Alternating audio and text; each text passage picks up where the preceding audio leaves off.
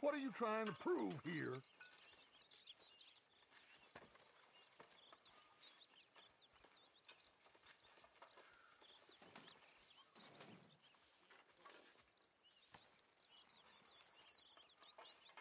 Have you forgotten who's in charge here? You need to get your head right!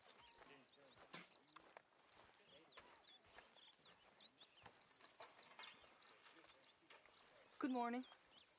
So,